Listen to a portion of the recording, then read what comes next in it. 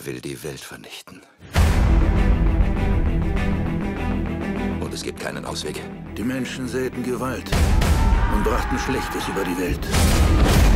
Darum muss man uns auslöschen. Die Sintflut kommt. Wir bauen ein Schiff für die Unschuldigen. Mutter! Was ist? Da!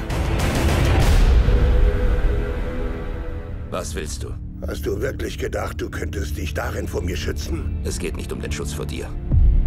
Ich stehe hier mit meinen Leuten und du bist allein und willst dich mir widersetzen. Ich bin nicht allein. Wenn sie kommen, kommen sie verzweifelt und in großer Zahl.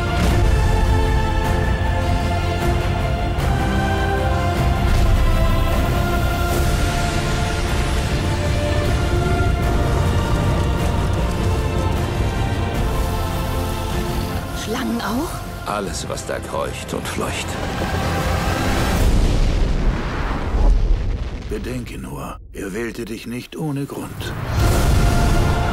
Entert die Arche!